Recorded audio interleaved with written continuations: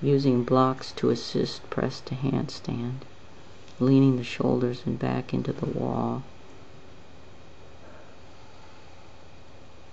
which is the action you're going to need when you press up until the hips find balance over the shoulders. The shoulders must lean forward of the wrists, which is a little unsettling until you feel comfortable in that position by practicing it many, many times. Notice that feet do not rise overhead to the full handstand position until the hips are situated balanced over the shoulders. Exhaling, focusing on maintaining a compact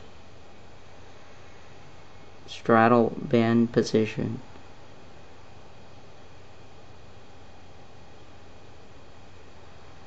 Try again without leaning into the wall, but the shoulders are forward of the wrists until the hips come up to balance. Then the legs rise up to the full handstand position. Breath is smooth, exhaling, focusing on keeping the hips high in space.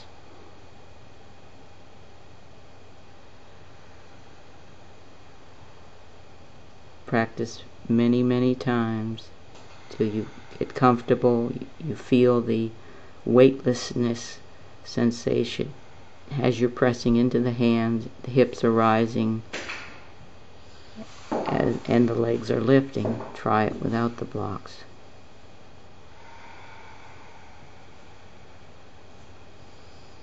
Visualize what you want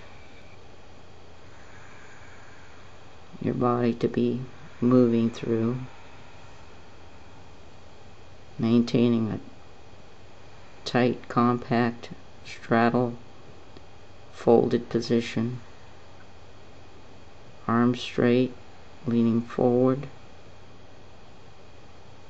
focusing on getting those hips up over the shoulders. Then once I feel the balance, the legs raise up to the full handstand.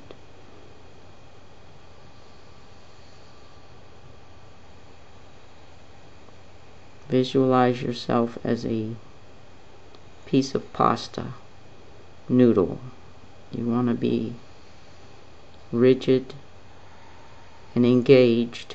It's going to be a lot easier to balance than a wet, loose, wiggly noodle. So maintain everything tight.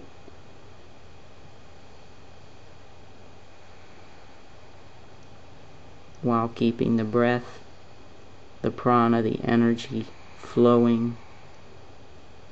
Exhale on the way down.